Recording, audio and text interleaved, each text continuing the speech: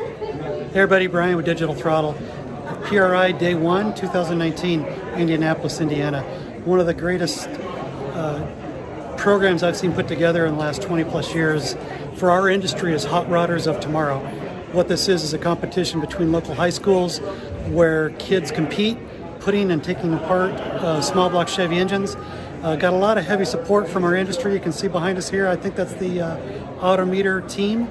Um, but if you're looking for a way to just get involved in our industry or to support just shop classes, which as you know, most of our local high schools kind of gave up shop classes a long time ago, check out Hot Rodders of Tomorrow.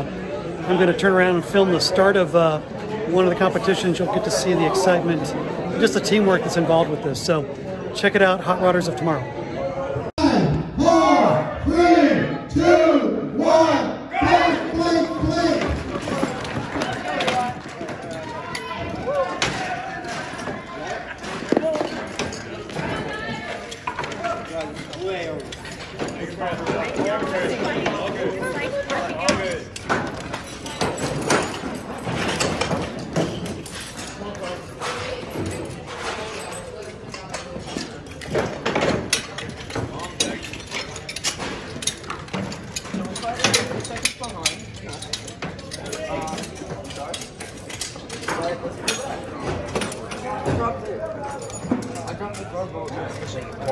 Play any trash.